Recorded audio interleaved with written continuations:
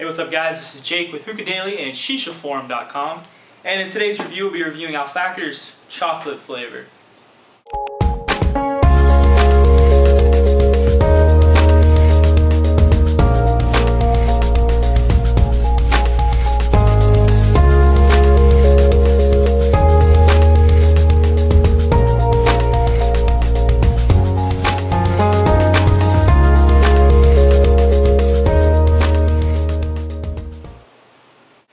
The cut on the Al Fakher shisha, it's, going to be your very traditional Al Fakher cut. Uh, larger cut, uh, there are going to be a few tree trunk stems in there which are easy to pick out. It's going to be very brown in color. Um, they're uh, very juicy, very, very drippy. As you can see our bag is just soft in, in juices here. Sometimes in the right light, this, uh, which we don't have the right light here at all, but the, uh, the juices actually look a little on the red side, a little on the maroon side. But for the most part, it's a, it's a light brown color. As far as the smell, I mean, this stuff smells like an artificial chocolate. It, it doesn't smell like a, you know, a, a, box of chocolates or like a Snickers bar or something like that. It has more of like an artificial uh, Tootsie Roll type chocolate smell to it.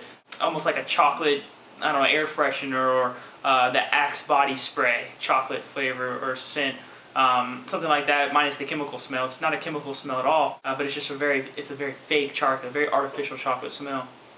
But you definitely smell the chocolate. Um, again, it's not a real real chocolate smell. It's not you don't get a whole lot of dairy type scent in there. Uh, it has a sweet smell, but very nutty. As far as the taste,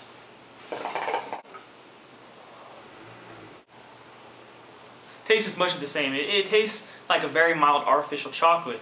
Uh, again, nothing real sweet. You don't taste any morsels of Hershey's Kisses or Hershey's Bar or anything like that. It tastes more like a mild, like a Tootsie Roll type chocolate flavor you know, just think a, a, chocolate scented item, like if you've ever had the little markers when you were a kid, the little brown markers, and you you smell the markers, they're all scented, the chocolate smelling one, or you know, just something that's chocolate scented, but not necessarily real chocolate. Uh, very artificial uh, tasting, not entirely sweet. It tastes like chocolate. It just depends on what kind of chocolate you're looking for. If you're looking for a real chocolate, this is definitely not going to be it. As far as the buzz, getting a little bit of buzz from it. Um, I kind of have a slight headache right now, so I'm not trying to really take a whole lot of big puffs on it, but the buzz is going to be definitely going to be there with Al Fakher. Um, as far as the duration, I've been smoking this bowl for probably about 15 minutes now, and I can see the bowl going for probably another 25 uh, minutes before having to uh, go ahead and, and uh, clean it up.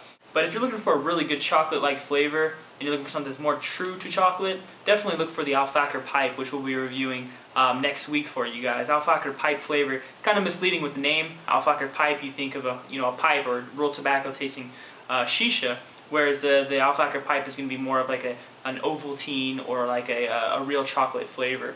Uh, very, very good stuff. But this is definitely not as good as the Al Fakher Pipe.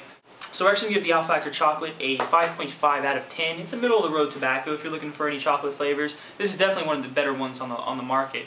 So um, anyways, definitely pick it up if you're looking uh, for a chocolate-like flavor and you can't get the pipe or uh, you don't like any of the chocolates you've had before. Al Fakher, Al Fakher chocolate is a good good choice for you. Definitely makes a good mixer. Try mixing with vanilla or graham cracker or something like that and be creative with it. It's a good mixing flavor, uh, not by itself.